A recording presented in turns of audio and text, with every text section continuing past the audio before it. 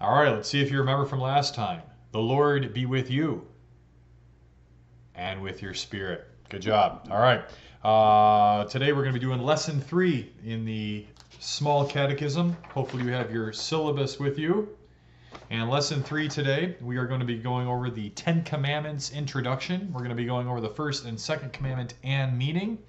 And uh, those will be, uh, you're going to need your small catechism. And of course, you are going to need your uh, hymnal. Always have your hymnal with you. And uh, before we get started, we are going to begin as we always do. So turn to page 32 in your catechisms. The daily prayers, how the head of the family should teach his household to pray, morning and evening. So in the morning, when you get up, make the sign of the Holy Cross and say, In the name of the Father, and of the Son, and of the Holy Spirit, Amen. It reminds us of our baptism, the sign of the cross. Let's confess the creed together, kneeling or standing or sitting down. I believe in God the Father Almighty, maker of heaven and earth, and in Jesus Christ, his only Son, our Lord, who was conceived by the Holy Spirit, born of the Virgin Mary, suffered under Pontius Pilate, was crucified, died, and was buried. He descended into hell. The third day he rose again from the dead. He ascended into heaven, and sits at the right hand of God the Father Almighty. From thence he will come to judge the living and the dead. I believe in the Holy Spirit, the holy Christian Church, the communion of saints, the forgiveness of sins, the resurrection of the body, and the life everlasting. Amen. We pray the prayer Jesus taught us to pray Our Father, who art in heaven, hallowed be thy name. Thy kingdom come, thy will be done on earth as it is in heaven. Give us this day our daily bread, and forgive us our trespasses, as we forgive those who trespass against us. And lead us not into temptation, but deliver us from evil. For thine is the kingdom, and the power, and the glory, forever and ever. Amen. and Luther's morning prayer. I thank thee, my heavenly Father, through Jesus Christ your dear Son, that you have kept me this night from all harm and danger, and I pray that you would Keep me this day also from sin and every evil, that all my doings in life may please you. For into your hands I commend myself, my body and soul in all things. Let your holy angel be with me, that the evil foe may have no power over me. Amen. and remember, uh, I know sometimes you might think, well, that's just a, you know two and a half minutes in the video. Uh, oh, it's a waste of time. Let's just get to the class.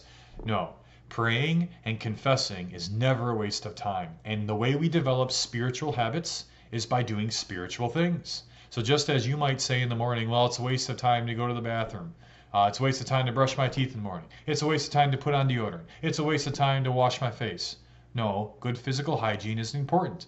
How much more so good spiritual hygiene. So don't ever sell this stuff short. Don't ever think that this is a waste of time. All right, now, before we go to work, uh, we are going to sing the hymn that we said we were going to sing, hymn 766. So if you got your hymnal out, let's sing uh, hymn 766. We're going to sing the first two verses once again.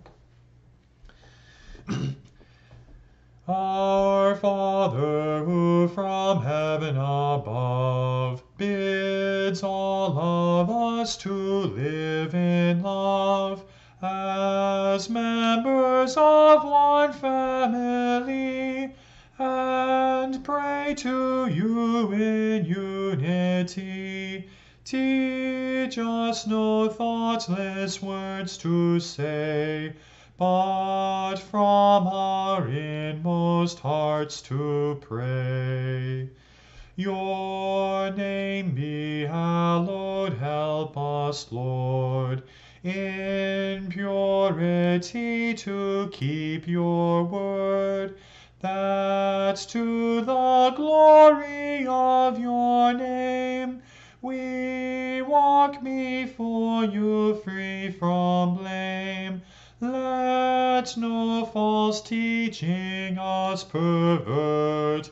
All poor deluded souls convert.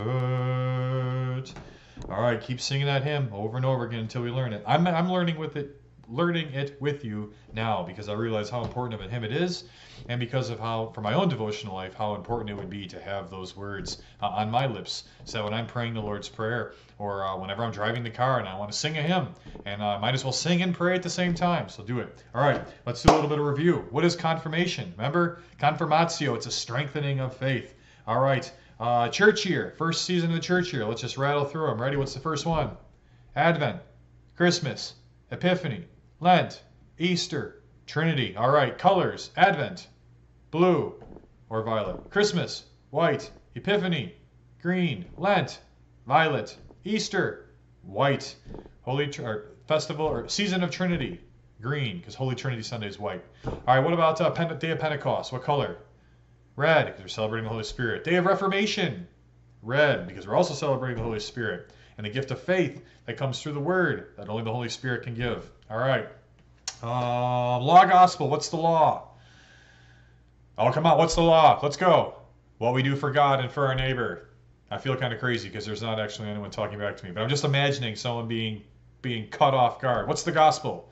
What God does for us for Jesus' sake. What does the law do? Shows us our sins. What does the gospel do? Shows us our Savior. What's the law? What we do for God and our neighbor. What does the gospel do? Shows us our Savior. What does the law do? Shows us our sins. What is the gospel? What God does for us for Jesus' sake. Yeah, see, I'm going to invert it and switch it around because I want you to be able to think, think, think, think, think. Don't just memorize things. Think about them so you can actually regurgitate them on, on your mind, on your lips. Okay. Um, what is the role of uh, reason in Scripture? Reason is the student. Scripture is the teacher. Good. So student, the, the uh, reason is the student. The teacher is God's word. It's Scripture. Um, six chief parts of the Catechism. What's first? Ten Commandments. What's next? The Creed, the Apostles' Creed. What's next? The Lord's Prayer. Baptism. Confession. Office of the Keys. Sacrament of the altar. All right, good, good review. All right, we are going to jump right into it. We're going to get things rolling here. Uh, Ten Commandments. Let's turn to page 54. So, page 54 in your small catechisms. Remember your ESV, page 54. what are the Ten Commandments? The Ten Commandments are the law of God. God gave them in this order, but did not number them. I point that out because if you were to look up Exodus chapter 20 or Deuteronomy chapter 5, there is no numbering of the commandments. It simply states the commandments uh, in the order that we memorize them. We supply the numbers. Um, it does refer to 10 uh, commandments of God, but God doesn't give us the specific numbers, but we order them. Okay. Uh, so, how did God give us the law? Well, let's look at question 14 on page 54. When God created people, he wrote the law on their hearts. Later, he arranged the law in Ten Commandments, wrote it on two tables of stone, and made it known through Moses. Now, I'm going to ask you on a test how many ways did God give us the law? And you're going to answer three. Now, in the Catechism, there's only two on our hearts and on two tables of stone. And I want to add a third one. And I want you to write down Hope you can see this. Where is it? And I want you to write right here. And dot dot dot in scripture. So, this is important because God's law is not just limited to the 10 commandments. God's law is all throughout the Bible, all throughout the scriptures. For example, in one of the Paul's letters it says, "Do not grumble." So don't complain. Don't be a complainer. In other words, another place it says, pray ceaselessly, that we should pray. Well, none of the Ten Commandments, now, of course, uh, the second commandment has the understanding of prayer.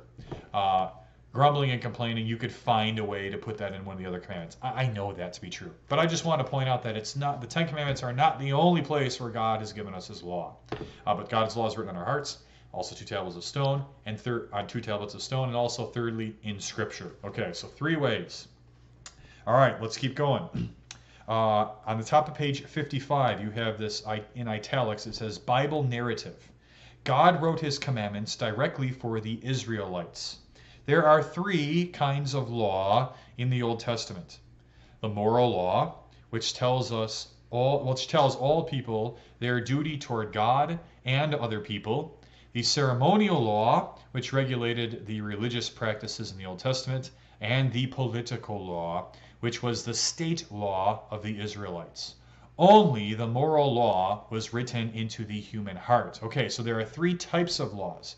Now, later on, we are going to learn about three uses of the law, and that's different from three types. So, type is like a category of law. Okay, so the types of laws moral, ceremonial, and political. I just want to make sure I have the terms right as, as it is in your uh, catechism. now, why does this matter? Um, how is this important to you? Because you very well may have the conversation with someone where someone will say, well, God said to do this in the Old Testament. And if you can determine which type of law it is, then you can determine whether or not it's still applicable to today. So, for example, the moral law still matters. You shall not murder anybody. Well, the law is still binding. You shall not commit adultery. You shall not, uh, in other words, you shall not have any sexual relationship outside of marriage. And it, marriage is only between one man and one woman. So that moral law still stands.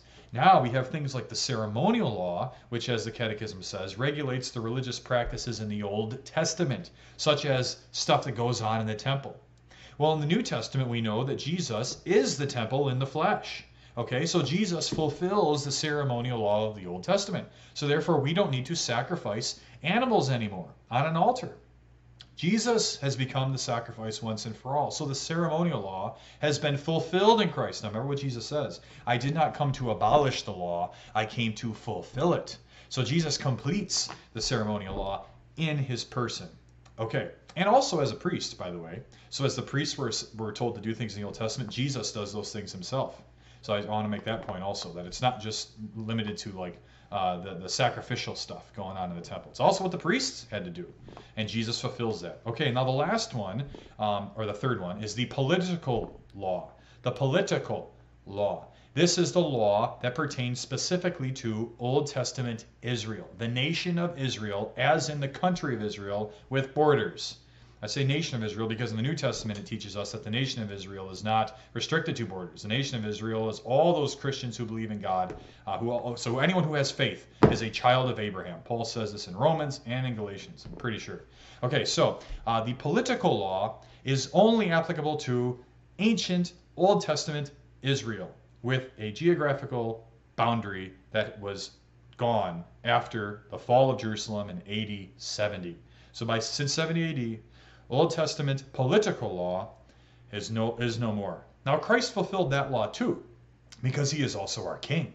So he is our prophet, priest, and king. He fulfills all the law in his, in his body. So I don't want to say the law was eradicated, but I'm just saying the nation of Israel no longer exists in the same way that did in the Old Testament. That now the nation of Israel is a people of God, and it is it is that which uh, exceeds borders, and it is all people who believe in Jesus for the forgiveness of sin. So faith makes us the nation of the New Testament Israel.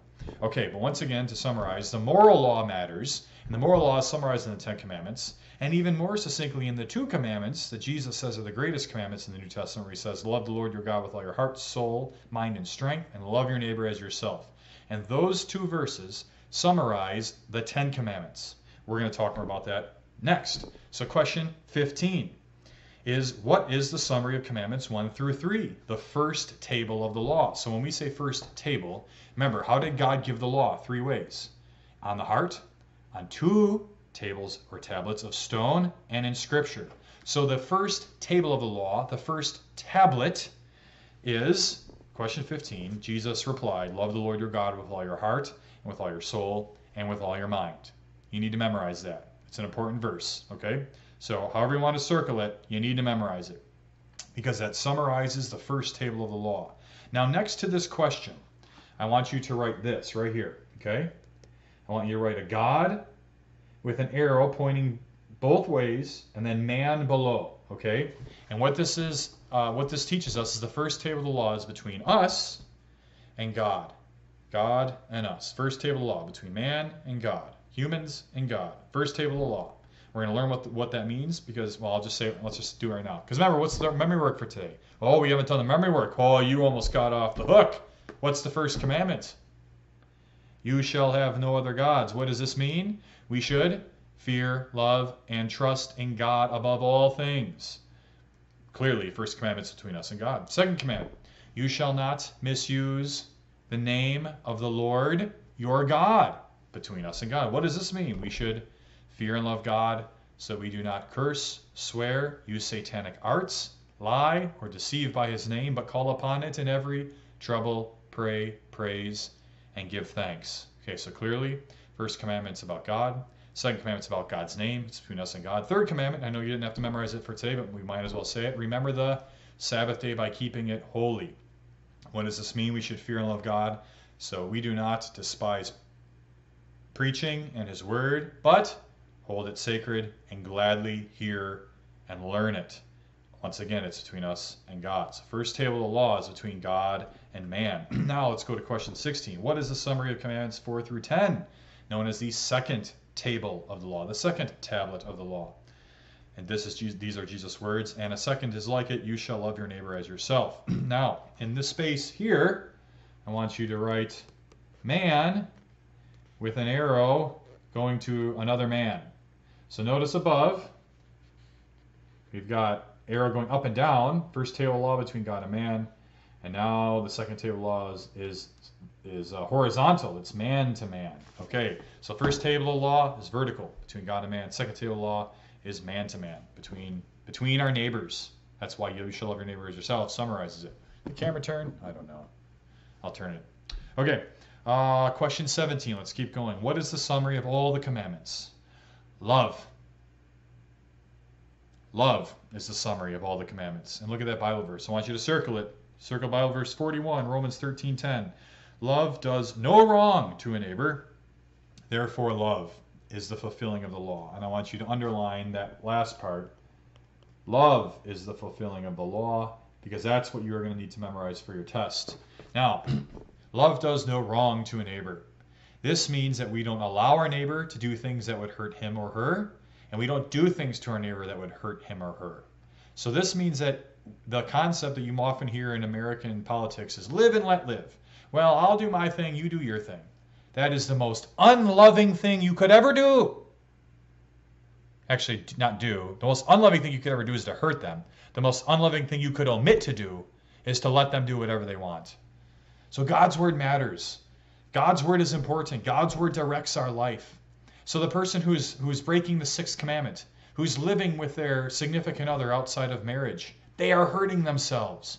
We should not continue to let them hurt themselves. Now, you might say, well, they love each other, right? We hear that all the time. Oh, this, this is love.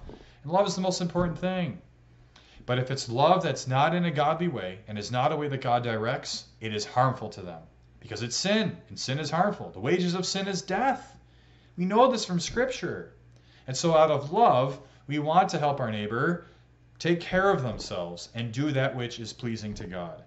Okay. Let's go to question 18. Whom does God mean when in the Ten Commandments he says, You shall? Well, answer, he means me and all other human beings. Now at the bottom, I want you to write, and hopefully you got room to do this, write, the commandments are you, but the meanings are we. Notice you and we are in quotes. Now this is really important because remember the first commandment again. You shall have no other gods. The commandments, God is talking to us. So, of course, he says, You shall have no other gods because he's God. So he makes the command, You, as in you and me. Now, in the meanings, when we say, Well, what does this mean? Well, the meaning is not God talking. This is Martin Luther wrote the meanings for us. And by the way, he doesn't just make these meanings up. He takes them from Scripture whenever Scripture talks about these commandments, and he summarizes them in a very succinct way that helps teach us the essence, the essence, the substance, the meaning of the commandment. So, in the meaning of the first commandment, we should fear, love, and trust in God above all things. So, in the meaning we are articulating, we, this is how we understand the commandment to mean, Lord, we should fear, love, and trust in you above all things. All right, let's keep going. Let's get to the first commandment. So, we just said it. Let's say it again. You shall have no other gods. Now, here's what I want you to write after that. Write in parentheses or brackets, before me. Because in Hebrew it says, You shall have no other gods before me. And then write an equal sign. And before me equals in my presence. And I teach this all the time. That this, when God gives this commandment, and uh, by the way, I don't like that the Catechism took out the words before me because I think they are so important. You shall have no other gods. Now, it gets the point across. You shall have no other gods. Period. I mean, that is full stop, end stop. But we should be faithful to God's word, and God's word does have the words before me. And what it means is, you shall have no other gods in my presence anywhere. So what does it mean, well, you shall have no other gods before me, as in, as long as I'm first in line, that you can line up your other idols that you fear, love, and trust in behind me. No, no, no. God wants no gods, no other gods in his presence. Now, of course, all other gods are false gods. And by the way, whenever you write the word God, if you're talking about the triune God, you should capitalize it. If you're talking about any false god, such as sports, so, so uh, or or or television or video games, or maybe your family or your friends, uh, those are small g gods. Now we're going to explain what this means because you might say, well, how can my family be a god? Well, anything that we put our fear, love, and trust in, other than the triune God, can be an idol to us. And we all have them. So the way I always ask this question is I ask yourself, when you wake up on Sunday morning, you're supposed to be going to church, and something tempts you to not go to church.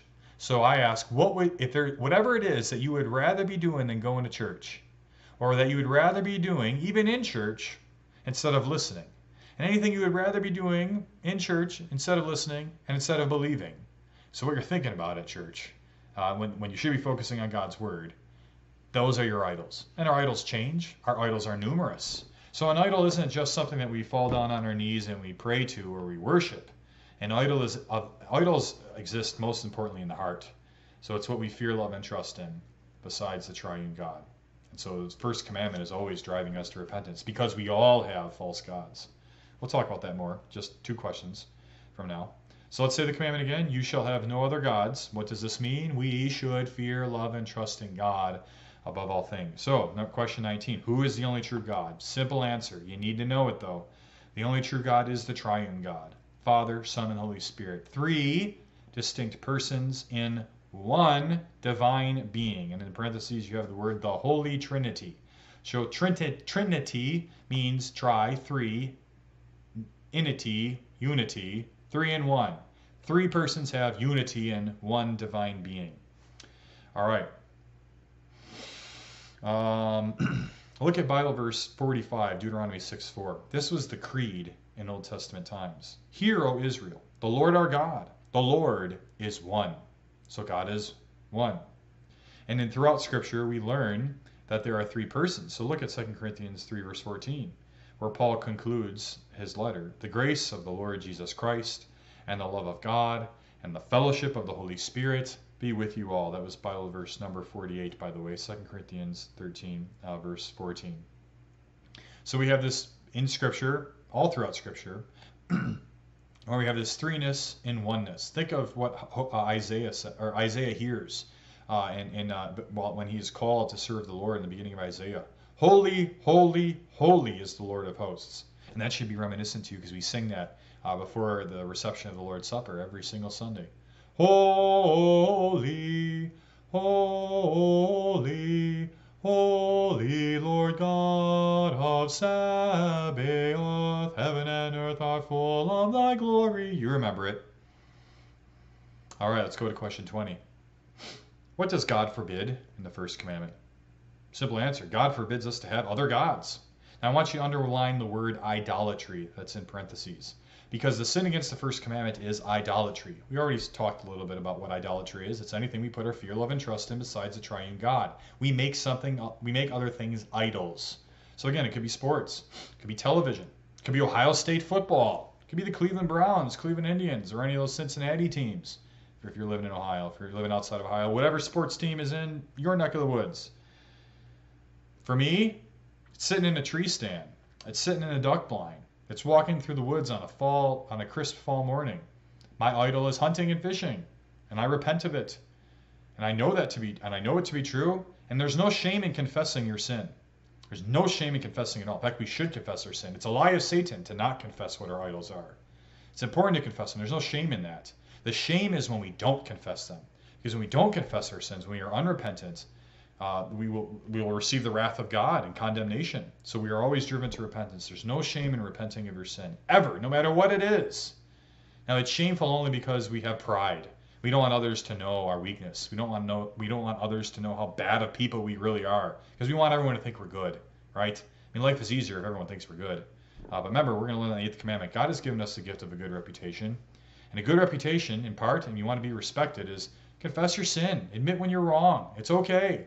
Ain't gonna hurt anybody. It's gonna just gonna hurt your pride. But thanks be to God when you repent, you trust in the forgiveness Jesus offers, you're forgiven. Slate swiped clean. All right, circle Bible verse number 50. It's Matthew 4:10. This is Jesus' words, by the way, to Satan when he says, "You shall worship the Lord your God, and Him only shall you serve. Remember the first commandment, you shall have no other gods before me, in my presence, none other. I'm the only one. This is the Lord speaking. I'm the only I'm your only God. So you shall worship the Lord your God, and him only shall you serve. That's going to be on your test. Because that is a great Bible verse that teaches us the first commandment. All right, so question 21. Now we're going to talk about the idols that we have. So when do other people when do people have other gods? Well, they have other gods A when they regard and worship any creature or thing as God. This is obvious idolatry. This is very, very blatant, blatantly obvious. We get on our hands and knees and we pray to something else besides the triune God. Or we worship something other than the triune God. That's the blatant, obvious uh, committing of idolatry. B, when they believe in a God who is not the triune God. Oh, now this starts limiting things here. So this means Muslims are idolaters. This means Mormons are idolaters. This means Jehovah's Witnesses are idolaters, just inherent to their confession of faith because they don't believe in the triune God of the Apostles' Creed. Because they either think Jesus is just a man or they think other things about Jesus that are not true. So it's important to know who Jesus is and believe who Jesus is. Like Jesus, true God and true man, died for you. All right, C. And now we're getting into the more, the finer uh, senses. So the gross idolatry is when are blatantly worshiping something other than God. And now we're getting into the more finer details of it. C. When they fear, love, or trust in any person or thing, as they should fear, love, and trust in God alone. And now here's where I would ask that question to you. So, what are your idols? Don't be ashamed to admit them. And if you don't know them, you need to know, because it's it's uh, that's deception of Satan to make you think that you don't have idols, and that would be a problem. Because all our life long we have something. You might even be just pride. In fact, if you don't know what your idol is, your idol is pride. Because you think you're a good person. And then when you think you're a good person on your own accord, apart from the merits of Christ, you make yourself God. Small g God, of course. And we need to repent of that. So you see, the first commandment is always driving us to repentance. Let's keep going. Uh, 22. What does God require of us in the first commandment? Well, God requires that we fear, love, and trust in Him above all things.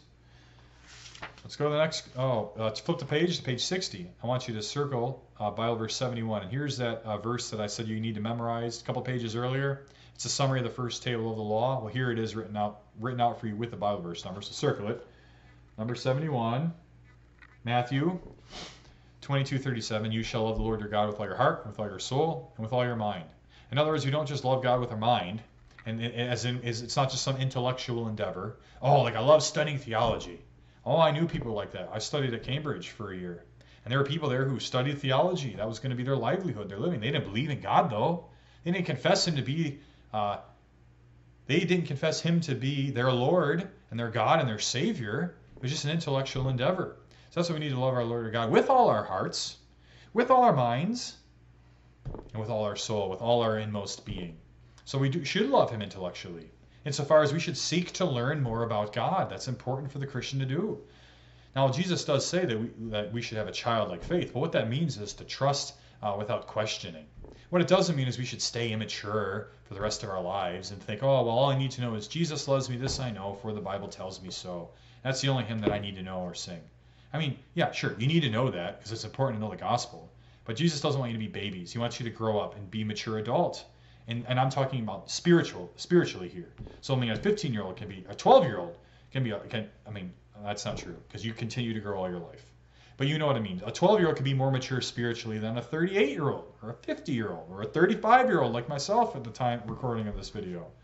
And so the point though is this once again, we should have a childlike faith insofar as we don't question things. So I tell my child I love him and he doesn't doubt it. I love you too, daddy. Right? Children don't deny your love. They don't doubt it. As adults, we start to doubt God's love for us. We start to overthink things. We were talking about that. Remember when we talked about reason? Remember, reason is the student, Scripture is the teacher. So we should have a childlike faith insofar as we just receive God's word for what it is. But we need to grow in God's faith too.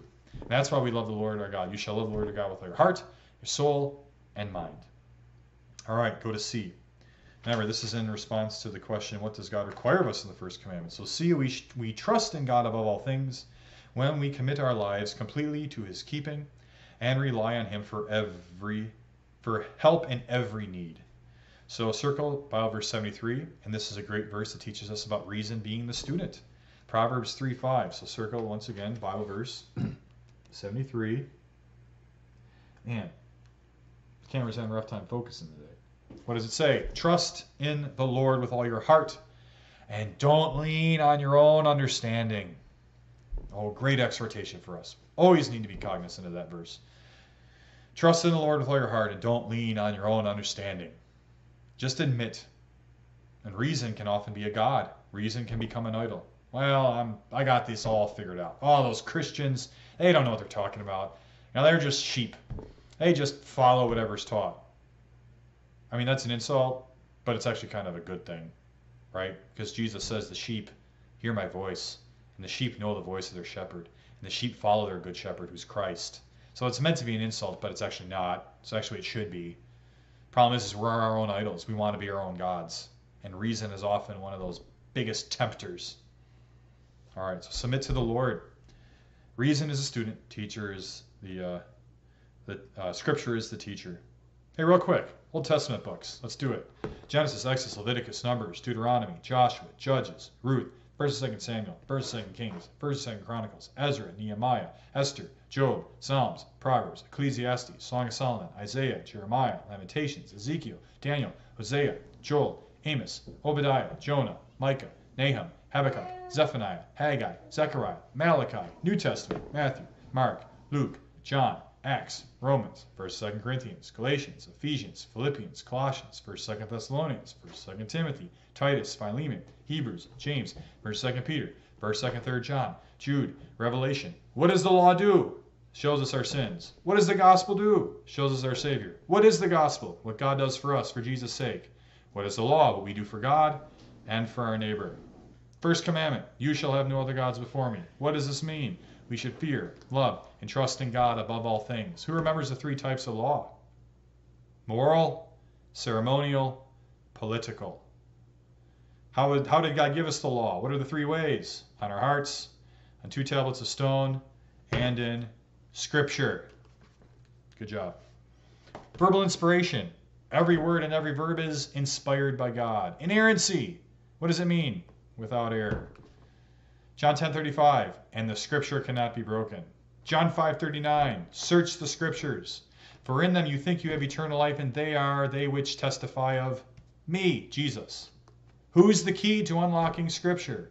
Christ. Deep breath. Question 23, bottom page 60. Who is able to keep this and the other commandments? No person can keep any or all commandments perfectly except Jesus Christ. All those who have faith in him by the power of his Spirit willingly strive to keep these commandments. And so, if only Jesus can keep the commandments, that means we are always not keeping the commandments. So, circle Bible verse 75. Right there. And it's 1 John 1 8. We say this, by the way, when we have divine service setting one at Zion. It's part of our confession and absolution. It's part of the confession at the beginning of the service. 1 John 1 8, let's read it together. If we say we have no sin, we deceive ourselves, and the truth is not in us. So if we say we don't have any idols, we deceive ourselves, and the truth is not in us. If we say we don't fear, love, and trust in things other than the triune God, we are deceiving ourselves, and the truth is not in us. I hope you're getting the point. Repent. Figure out what your idols are. Repent of them. Ask the Lord for His grace. Oh Lord, help me do better. Cling to the forgiveness of sins, though, and trust that He, in fact, has forgiven you in Christ and wants you to do better and will enable you to do better. All right. Second commandment. Let's go. Move right on. Uh, second commandment's about God's name. First commandment's about God. Second commandment's about God's name. Let's say it together. You shall not misuse the name of the Lord your God. What does this mean? We should fear and love God so we do not curse, swear, use satanic arts, lie, or deceive by his name, but call upon it in every trouble, pray, praise, and give thanks. Question 24. What do we say in this and in the following commandments? Why do we say we should fear and love God? Well, the fulfillment of all commandments must flow from the fear and love of God. So that's why we say we should fear and love God, so that in every single one of the commandments, from commandments 2 onward. So remember, the first commandment is we should fear, love, and trust in God above all things. But commandments 2 onwards, it's we should fear and love God, so that, da, da, da. Right? Okay, that was the purpose of that question. Uh, what is God's name? Question 25 at the bottom of page 61. God, as he has revealed himself to us, his essence and his attributes. So, what is God's name? His essence and his attributes. So, everything about God is part of God's name. So, God is holy, he's just, he's omniscient, he's omnipotent, he's omnipresent, he's merciful, he's love, uh, he's gracious. We're going to get all of those attributes when we get to the first article of the Creed in a few weeks. But for now, in the meantime, just know everything about God makes God who He is and is what God's name signifies. So it's just like me. You know, my name is Wes Hermoic. Been given that name since birth. So everything about me makes up who I am. So when I, when someone writes my name down, whatever your thoughts are about me, uh, whether I'm your pastor or whether I'm your son or I'm your dad, whatever my vocation relationship is to you, there's things you think about that pertain to me. That's what constitutes my name in essence and who I am, my attributes in essence. Same thing with God. More so with God because I, I change, right? Uh, humans adapt, we grow, we change, we differ. Um, we lie, we deceive, we put on a front. We're not sometimes always the real person that we really are. God's not that way. God is the same. He changeth not. That's in Malachi. Learn that verse too. Humans change though. All right. Question 26. What does God forbid in the second commandment? in the second commandment, God forget, forbids us to misuse his name. Now, if you learn the old catechism, I want you to write misuse equals in vain. Okay? And in vain means an empty meaning. All right? Man, it's so blurry today. So misuse equals in vain, empty meaning. And then circle that Bible verse right next to it. What is that? 87? Exodus 20, verse 7. Which, by the way, Exodus 20, verse 7 is a Bible verse within the Ten Commandments. Uh, it's right after this misusing the name of the Lord your God. So basically, what I'm doing is I'm making you memorize the second commandment. I'm making you memorize the verse after in the scripture. All right. So in vain means if we just say God's name without any meaning attached to it. If we're saying it for any other reason than when we're in trouble, when we're praying to Him, when we're praising Him, or when we're giving Him thanks. So how is God's name misused? Question 27. God's name is misused when people speak God's name uselessly or carelessly, such as OMG, write that as an example, such as OMG, and you know what that stands for. Oh my God. Shouldn't say that. Or if someone yells angrily, Jesus Christ. Sinful. Don't take God's name in vain or use it with an empty meaning. So we should never use God's name in a sinful way, but we should always use God's name in the ways He has commanded us to use His name. Whenever we're in trouble, praying, praising, and giving thanks. So, in things that are forbidden, it says that uh, we should fear and love God. Let's do the meaning again. So, second commandment: You shall not misuse the name of the Lord your God. What does this mean? We should fear and love God, so we do not curse, swear, use satanic arts, lie, or deceive by His name, but call upon it in every trouble. Pray, praise, and give thanks. The first prohibition in that meaning was cursing. So that's question 28 on page 63. What is cursing by God's name? Cursing by God's name is blaspheming. Now underline the word blaspheme and then write an arrow and, and write the word disrespecting. So if you're blaspheming God, you are disrespecting Him. And we disrespect Him by either speaking evil of Him or we mock Him. So that would be cursing against God's name. All right, let's go down to question uh, 29. So, what is swearing by God's name? Well, swearing by God's name is taking an oath in which we call on God to witness the truth of what we say or promise and to punish us if we lie or break our promise. So, to swear is an oath or promise, it's not saying a bad word. Now, and when I say that, that doesn't mean that you're allowed to say bad words. We shouldn't cuss. In fact, uh, Paul in his letter, remember, God gives us law in what? Three ways on our hearts, on two tables of stone, and in Scripture. And in the New Testament, there is a, as a, uh, Oh, I think it's Ephesians. End of Ephesians. Should have had the verse ready, but I don't. Where it talks about uh, not saying things um, that are useless or senseless, or, or, or, basically saying dirty things, profanity. Uh, that we should only be speaking things of God. So whenever we say things that are useless or vile or whatever, cuss words, for example, those, that, that is sin because uh, it's misrepresenting who we are as Christians. And we should only be speaking the things of God, uh, not the vile things of man. Okay, uh, question 30. So, when are we permitted and even required to swear by God's name? Well, we are permitted, even required to take an oath by God's name when an oath is necessary for the glory of God or the welfare of our neighbor. So examples include the following if your testimony in court, testifying in court, an oath of office. So when the president gets uh, inaugurated, he, make, he makes an oath of office. Wedding vows. Um, hopefully, Lord willingly, if you're one of our confirmation students, you're going to get married someday to a godly spouse, and you will make wedding vows on that day. Now, when is swearing forbidden?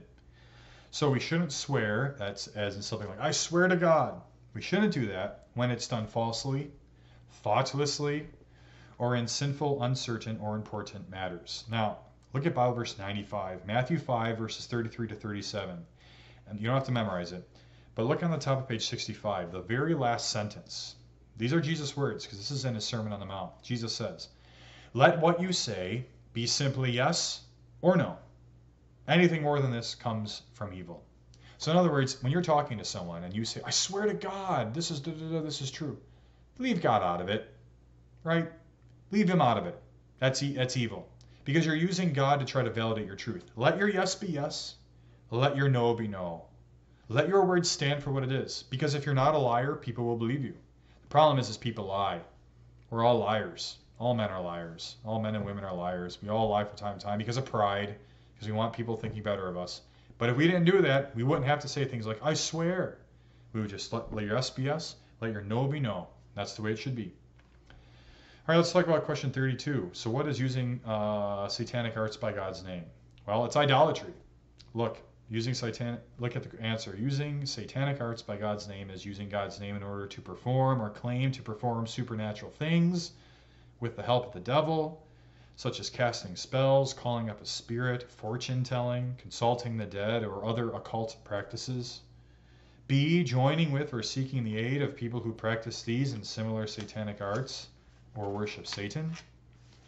Depending on horoscopes, this is C on page 66, or similar ways to foretell the future. These are all bad things. These are, these are all, because why? Why are they bad? Let's talk about that. Why is playing a game like Charlie Charlie? That's a big thing that kids kids were playing a few years ago. Or uh, spinning a pencil around and you know pretending that you know calling upon demons or Ouija boards. Why is all that stuff bad? Well, if you're playing a Ouija board, for example, kids might. Uh, the purpose of the game is to evoke fear. Well, what are we fearing? We're fearing a game more than we're fearing our triune God who condemns sin and also forgives sin in Christ. We ought to fear God, love Him, and trust Him, not some game. So that's why these things are bad, because they're taking our fear, love, and trust away from our triune God. All right, question 33. So, what is lying and deceiving by God's name? Well, it simply is A, teaching false doctrine and saying that it is God's word of revelation. So, anytime we speak an untruth about God, or if we some, someone might say something like, Well, I'm a Christian and I believe this, this, and this, but the scriptures teach opposite of that, they are lying by God's name. Because remember, God's name is his essence and all his attributes. And part of his essence and attributes is all of it's revealed in God's word, not all of it. What he wants us to know is revealed in God's word.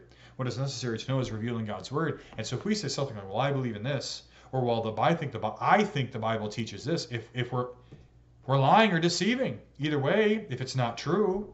And so that's why it's a sin against the second commandment, and that's a serious sin. Man, like, I think the camera keeps moving. Just notice that now. Like keep like drifting off to the side. Okay, focusing. Game face. So, teaching false doctrine, saying it's God's word of revelation, that's lying or deceiving by God's name. And then B, oh, and this is where we often, this is where we often fall. Covering up an unbelieving heart or a sinful life by pretending to be a Christian. These are known as hypocrites. By the way, the word hypocrite in uh, Greek refers to like a mask. Someone who's in a play who's like wearing a mask. So they're out of, they're, they're playing a character. So a hypocrite is uh, a, a person who pretends to be a Christian. They're playing the character of a Christian. So, so hypocrites exist all, all over the place. Church is full of them.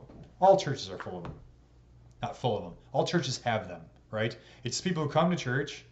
They act like uh, they, they, they act like a Christian because they're there on Sunday. They put a smile on. Maybe they participate in the hymns. Maybe they even come up to the Lord's Supper to receive His body and blood. And then they leave there and they don't believe a word of what they've been taught. And they just live whatever scandalous life they want to. And they just say, "Oh, well, I can just come back to church on Sunday and just you know feel feel good about myself." What does Paul say in Romans 6:1? Shall we continue in sin that grace may abound? By no means! No! Christian life is one of repentance and faith. You'll hear me say that all the time. Say it all the time. So don't be a pretend Christian. Don't be a hypocrite. Now, this doesn't mean, of course, that we're not sinful. We all sin. I know that. And we should know that. We should confess it. Remember, that's what we've been doing this whole Bible study. Again, it's a lie of Satan to say that there's shame in confessing sin. The, lo- the, the shame is sinning. That's the sin. That's the shameful thing. Confessing sin is not shameful at all. Because when we confess sin, remember remember that verse that I had you memorize? Was it two, three pages before? On page 61. 1 John 1 8. If we say we have no sin, we deceive ourselves, and the truth is not in us. And that verse continues. But God, who is faithful and just, will forgive our sins and cleanse us from all unrighteousness. So if we say we have no sin, we deceive ourselves. But when we confess our sins, God forgives us. Now remember, the, the forgiveness of sins has been earned by Christ on the cross 2,000 years ago. The way you receive that forgiveness is by faith. So the forgiveness of sins, all, all the sins you haven't even committed yet, have been forgiven. But you don't receive that benefit of it apart from faith. So we trust in God's word, and by faith we trust in the forgiveness that Jesus earns, and now that forgiveness becomes mine. And that's why my faith can't save you, and your faith can't save me. Because each individual confesses their own sin and believes in the forgiveness of their own sin. All right. Question 34. What does God require of us in the second commandment? We should call upon his name in every trouble, pray, praise, and give thanks. Now, this should remind us of hallowed be thy name in the Lord's Prayer. So, this is the proper way to use God's name when we're in trouble. Look at uh, that Bible verse 104. Call upon me in the day of trouble. I will deliver you, and you shall glorify me. You should memorize that one. I don't have that circled in my catechism, but I'm, I think I'm supposed to. Because I know I had to memorize it. It's a good verse. Call upon me in the day of trouble. This is God speaking. I'll deliver you. You will glorify me. Whenever we pray to Him, so we pray to God, right? That's using God's name. Oh Lord, our Father, who art in heaven, hallowed be thy name. We call upon God's name. When we praise Him, what's praise? So, praise in the biblical sense. So, praise is not just like, so this is the problem with contemporary music that oftentimes people think that praise is about how God makes me feel. Oh, God makes me feel all happy and joyful inside, blah, blah, blah. Or it's just repeating a bunch of nonsense. Proper biblical praise, look to the Psalms. Praise recounts God's actions in history and glorifies Him for what He has done. And, and what we know He has done is revealing God's Word. So, good praise, this is why good praise hymns in our hymnal, for example, uh, recall all the benefits that God has done throughout time it recalls, I mean, Paul does this. He re- we recall the Exodus. God leads his people um, out, of, out of Egypt from slavery. Uh, we talk the, the water that comes from the rock, the manna God provides in the wilderness. You know, all throughout the Old Testament, all the stuff God's done, God, God has done for his people. And in the New Testament, what do we say in the Lord's Supper? We proclaim Christ's death until the day he comes. So in the Lord's Supper, we are praising God for giving up his only son to die for us. Now, of course, that makes us sad because it's our sin that put him on the cross. But we still praise him for it. Because of Jesus, we can go to heaven. So whenever we're in trouble, pray to him, praising him, and then give thanks. So we should give thanks. Look at Bible verse 108. You don't have to memorize it, but give thanks always and for everything to God the Father in the name of our Lord Jesus Christ. So we give praise to God, we thank him. And so when I'm when you're teaching your kids to pray someday, and when I teach my kids to pray, one of the first things that kids like to do when they pray is they say, God, please give me this. Please give me this. Please, please give me this. And, that, and that's okay. We should go to our Heavenly Father asking Him for things. But we should also, in the same breath, and we should and we should also teach them in the same breath to give thanks to God. And so what we do with our kids is after they say their their their petitions, they ask God for things, and I say, okay, now what are you thankful for? Well, mommy, daddy, you know, uh, my brothers, my sister, toys, my grandma's, my papa's, church, our pastor. We thank God for all the things He has given us. Okay, uh, I think that's going to be it. Yep, that's it. That's it. That's all we had to get to uh, through the catechism today. So what we'll do um, is we will uh, close with our prayers. So let's close with uh, let's pray together. Psalm 23. The Lord is my shepherd; I shall not want. He makes me lie down in green pastures. He leads me beside still waters. He restores my soul. He leads me in paths of righteousness for his name's sake. Even though I walk through the valley of the shadow of death, I will fear no evil, for you are with me. Your rod and your staff, they comfort me. You prepare a table before me in the presence of mine enemies. You anoint my head with oil, my cup overflows. Surely goodness and mercy shall follow me all the days of my life, and I will dwell in the house of the Lord forever. Amen. Let's pray Luther's uh, evening prayer. I thank thee, my heavenly Father, through Jesus Christ, your dear Son, that you have graciously kept me this day. And I pray that you would forgive me all my sins where I have done wrong, and graciously keep me this night.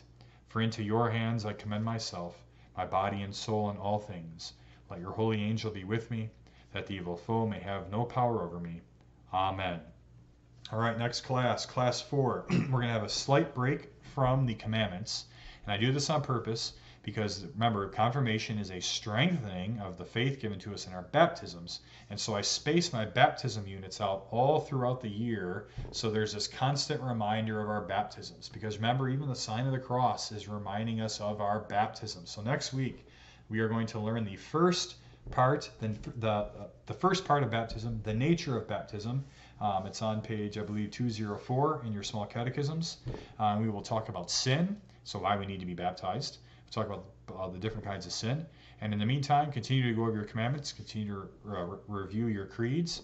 Uh, I'm sorry, your Old Testament book and your New Testament books. and uh, we'll, we'll meet back up here next week for lesson number four. And uh, God be with you. So learn that first part of the, uh, of the baptism, baptism again. And I keep memorizing those Bible verses. And the best way to do it is just to keep reading them. All right? All right, take care, everybody.